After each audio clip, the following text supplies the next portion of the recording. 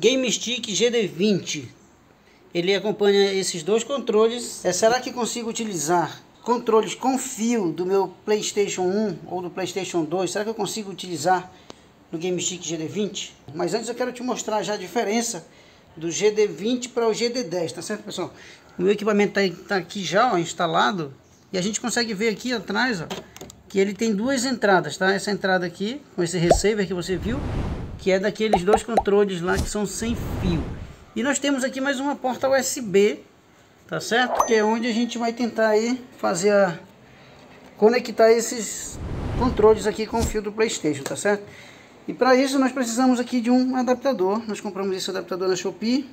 Ele está dizendo que é para de PC, Playstation, o PS e o PS2. E dá para ligar dois controles desse aqui, pessoal, com fio. E é isso que nós vamos testar e eu já te mostro aí se isso vai dar certo ou não. Ainda tem a compatível, você pode utilizar também com o emulador direto aí no seu computador, né? Compatível aí com o Windows 98, e-mail 2000, Windows Vista e o Windows 7. Ele promete aí para funcionar no computador, tá certo? Então, pessoal, então beleza, se você gostou desse vídeo, meu nome é Alfredo, aproveita se inscreve no canal, ativa a notificação, compartilha o vídeo. Pronto, pessoal, já conectado aqui, tá? Agora já conectado também no nosso Game Stick que nós vamos fazer agora é ligar. Para ligar o Game Stick é muito simples, né? você já sabe, já mostrei nos vídeos anteriores, você precisa pegar aí o seu conector e ligar aí na tomada, pessoal. Pronto, pessoal, já estou aqui com o meu Game Stick ligado, tá? Essa aqui é a interface dele, a abertura dos jogos. E agora nós vamos tirar aí a nossa dúvida. Nós vamos tirar a nossa dúvida aí se realmente vai funcionar aqui, ó, tá? Os conectores aqui, os controles já estão conectados.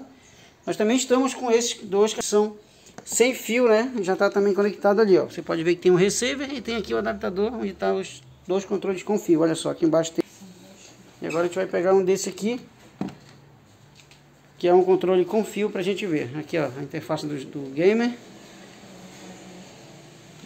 Pronto, aqui nós vamos fazer o teste agora com o controle com fio. Se ele vai estar tá funcionando. Você está vendo aí, ó, que ele está ligado, tá? Com fio.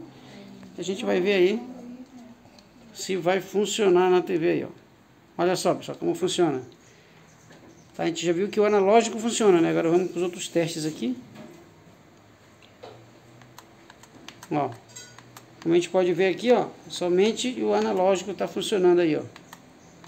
Para mudar as funções aí, ó. Beleza? Então dá para funcionar. Tenta abrir um jogo aí, ver se as letrinhas funcionam.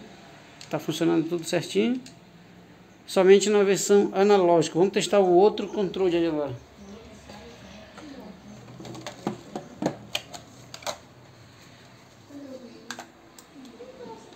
Da mesma forma, somente o, o analógico funcionando. Aqui é o GD20, tá? Já deixa esse amp para você, se você pensa em comprar um gamer desse, um game stick, né? Tá aqui a, a caixinha dele, esse aqui é o modelo GD20, que tem como diferença um pouco mais de memória, também mais jogos e aí tem duas portas USB onde você pode estar tá fazendo essa adaptação e vai ter jogos aí que até quatro pessoas podem jogar ao mesmo tempo, simultaneamente, tá certo? Um simples adaptador, tá certo? Pode tirar você da função de você ficar comprando pilhas, porque esse controle aqui ele é, funciona através de pilhas, então essa é uma opção aqui de você gastar cerca de 16 reais com um adaptadorzinho desse e resolver o problema de pilhas caso você tenha na sua casa esses controles com fios aí parados né, de outros games aqui. Valeu pessoal, tchau, tchau, até o nosso próximo vídeo.